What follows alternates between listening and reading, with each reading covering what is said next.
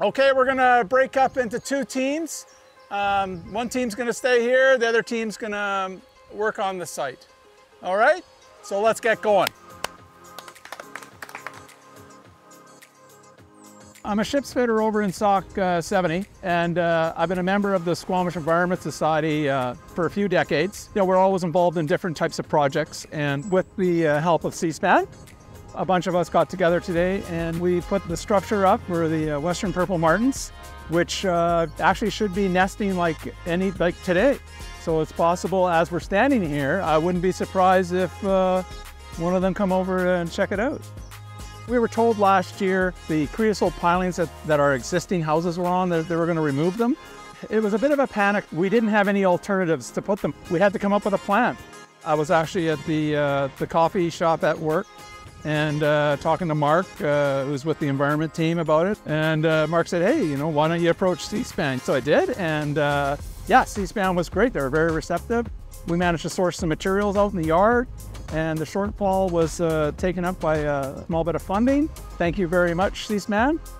Then the clock, the clock was running because the structure needed to be designed, the permits needed to be uh, taken care of, and it needed to be put up within seven weeks. Uh, I've been working pretty much every day at home on this structure, uh, prefabbing it, uh, trying to make sure everything works when you get it out to the field. And Aaron Moody Nelson uh, with the Squamish Nation, he did the design work there. It's three dragonflies and there's a Coast Salish canoe on either side on the front. And you know, it, it all came together.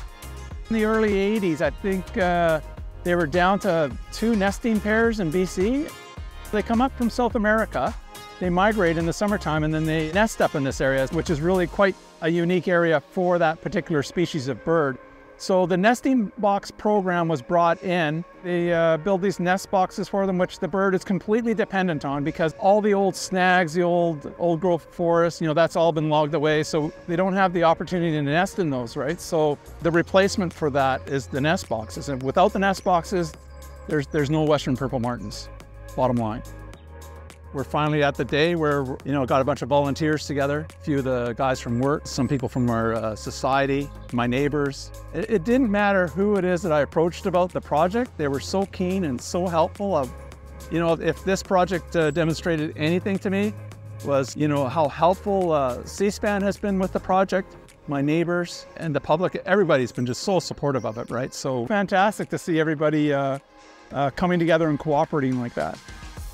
I just want to send a big thank you to the Squamish Nation for allowing us uh, uh, to install it on their lands and to Seaspan for, for helping out with the funding.